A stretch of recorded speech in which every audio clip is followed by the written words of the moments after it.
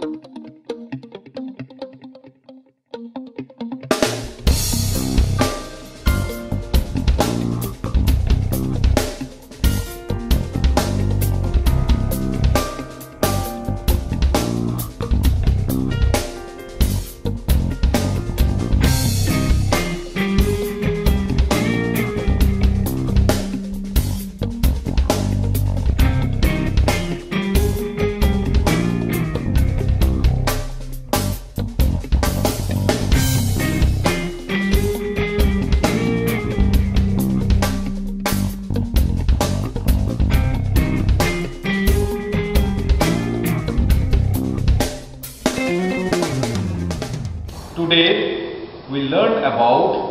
application of potentiometer. Potentiometer you have read in current electricity is a device which is used to compare EMF, determine EMF and determination of internal resistance of primary cells and determination of low resistance values as well. It works on the basis of potential gradient. This is a very sensitive instrument. Today we will compare EMF of two cells, Leclanche cell and Daniell cell. So let us try to first find out how to form a Leclanche cell. Leclanche cell has a glass container, has a porous pot which is sealed porous pot and has a zinc electrode which is amalgamated zinc electrode to prevent local action and electrolyte is ammonium chloride. So first let us put ammonium chloride inside the container which now our electrolyte is inside. I put the sealed porous pot which contains carbon rod as positive electrode. It has got charcoal powder and manganese dioxide inside and manganese dioxide is playing the role of depolarizer. The whole thing is to be immersed inside and then when you put inside the zinc electrode, the cell will start working. It gives an EMF of around 1.5 volt, but remember, zinc rod is to be immersed only when you take observations. Let's try to see how to form a Daniell cell. Daniell cell consists of container which is made of copper and it itself plays the role of positive electrode and it has copper sulfate solution inside.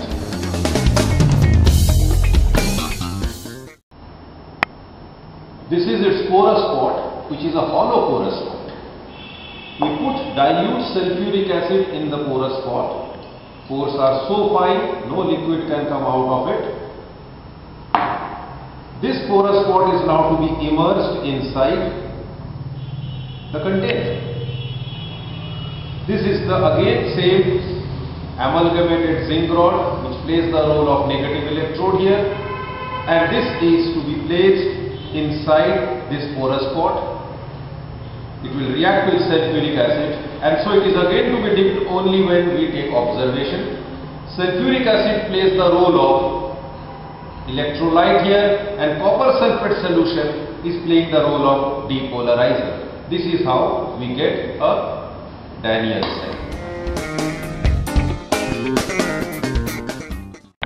Now let us try to understand how to perform this experiment using a circuit diagram. Here is the circuit diagram of this experiment. You can see AB is the potentiometer wire which essentially is a 4 wire potentiometer wire each of length 100 centimeter therefore it is a 4 meter potentiometer wire. On this side we have the main supply E which is the battery eliminator in our case and therefore it is high voltage supply. It has got its own key K1 connected with an ammeter. Here is a rheostat to control the current and it is used to supply the current in the potentiometer wire which will produce potential gradient in the wire. Now you see E1 Suppose it is the first primary cell, that is Leclanche cell. E2 represents the second primary cell, that is Daniell cell. Then come to K2, which is a two-way key. From the center of this two-way key, it goes to galvanometer, which is connected with a terminal called jockey. And this jockey means a movable point. The main feature of this circuit, as you can see that, all the positive terminals are at point A and therefore point A is the reference point of us for measuring the length. We consider the current to be flowing from A onward to DB and hence the length is to be measured in the potentiometer wire in the direction of the current. If suppose when I start this experiment the first thing is to switch on K1. When you switch on K1 current starts flowing and the circuit becomes functional. Now I switch on point 1 of two-way key and try to get the balance length which comes to point C. Now once I get the balance point for the first cell, I switch off 1, switch on 2 and get the balance length for point at point D for cell E2 in this manner you can get the balance length for both the cells. But remember, before getting the balance length, you first check two-sided deflection is there or not. As you have read in the book also, two-sided deflection means you have to first touch the jockey at A, then you touch the jockey at B. Galvanometer must show two-sided deflection or two opposite-sided deflection and when there is two-sided deflection shown by the galvanometer, it means you will definitely get a balance point. And so, for both the cells, you must see that you get two-sided deflection for the galvanometer. Once you get this balance length, you measure the length of the wire which is used to balance it. That is, for first cell, it will be A to C. For second cell, it will be A to B. Once you know this balance length, divide the two lengths that will be the ratio of EMF as you have read in the theory E1 by E2 is L1 by L2. On dividing these two lengths you can get the ratio of EMF of two cells. Hope it is clear. Now we'll move to the practical and perform this experiment and get the result.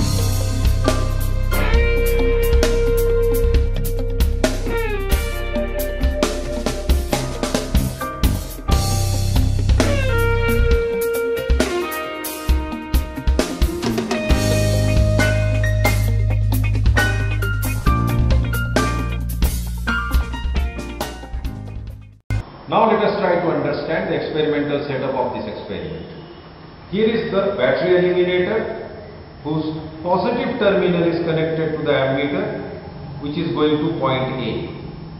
The negative terminal is connected with rheostat. This rheostat connection then comes to point B and this is the supply which is providing the required potential gradient to this wire. Now the question is what is the role of ammeter? Here the ammeter reading is only to indicate that the current in the circuit when flows is a steady current.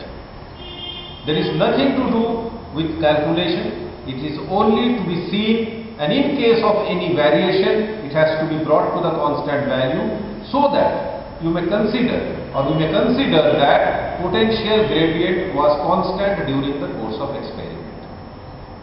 Now comes to the Leclanche cell. The positive terminal of this Leclanche cell is going to point A. Positive terminal of Daniell is also going to point A. Negative terminal of both, as you can see, not yet inserted, they are connected to two-way key and the center point of this two-way key is going to the galvanometer whose other end is connected with the jockey.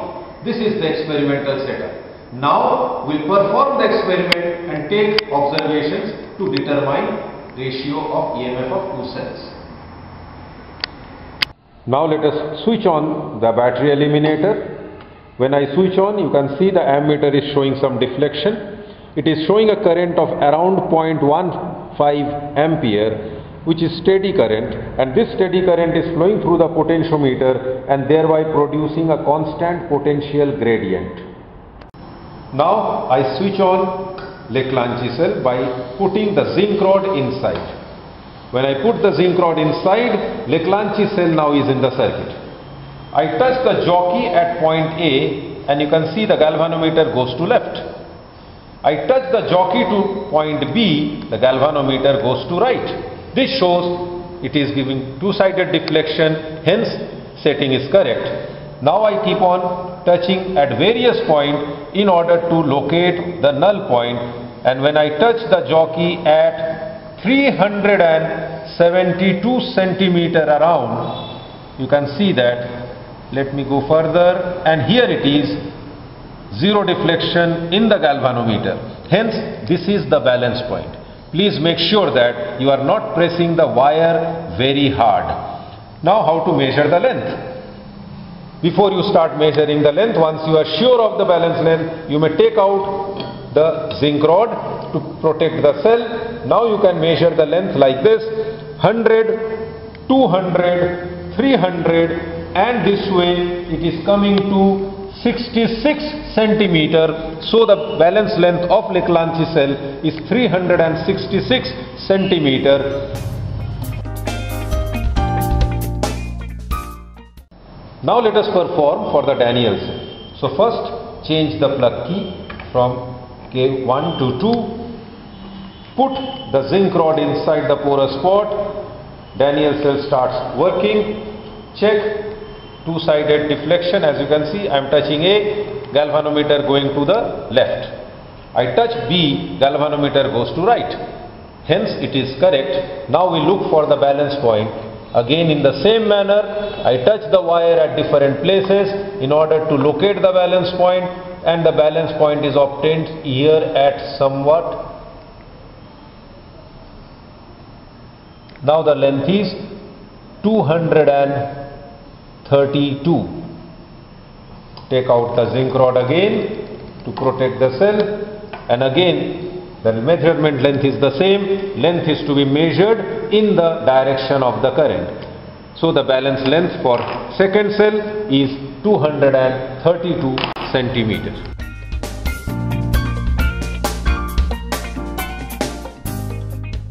After performing these two balance lengths, you can see that the ratio comes out around 1.57. Now you can see that the value of current is still the same as it was in the beginning. Hence, throughout our performance, current flowing through the wire is steady. Now, I move the rheostat in order to change the value of current. You can do it either by pushing the rheostat or you can change the supply from the eliminator itself. Whichever is convenient you may do and change the value of current to a new value. Let me now fix the value of current at 0.2 ampere around. Let's start second set of observation. For this again our plug is at 0.1. I put zinc rod inside. Daniell's Leclanche cell comes in the circuit touch the jockey at point A, galvanometer goes to left, touch the jockey at B, galvanometer goes to right, hence setup is correct. Now look for the balance point by touching the jockey at different places and now you can see this is where galvanometer deflection falls to 0. The balance length is 100, 200 and in the third wire it falls so it is 257 centimeter. This 257 centimeter is the balance length for Leclanche cell which is L1. Now I change the plug to 0.2 for the Daniell cell. Then put zinc rod inside the porous pot. Again touch the jockey at A. See the galvanometer goes to left. Touch the jockey at B. Galvanometer goes to right. We are satisfied with the connection and now look for the balance length again keep moving don't drag the jockey lift the jockey and move and slowly you will reach to the balance length that is the null point and the null point in this case comes to around 100 and 167 centimeter 167 centimeter which is L2 according to our table. So we have got L1, we will have L2, we divide these two and get EMF ratio of these two cells. This will be our second set of observation. For this observation, the current was throughout, as you can see, steady at 0.2. This is very important in this experiment that the potential gradient is different for two sets, but for both the sets, potential gradient should remain constant.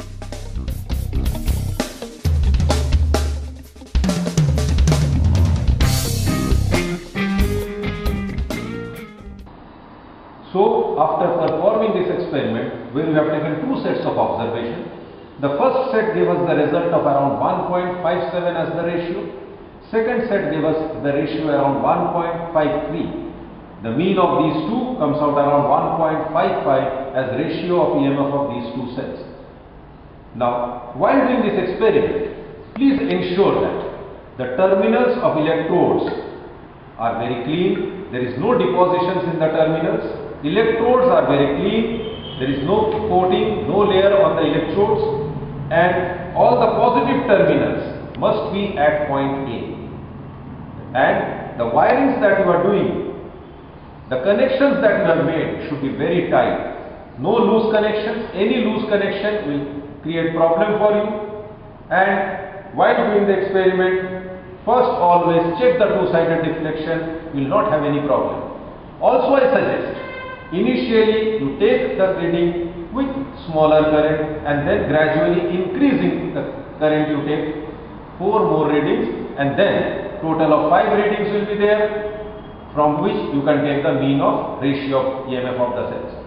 Try to find out why I am asking to take the observations by increasing the value of current and not by decreasing the value of current. Think over this point.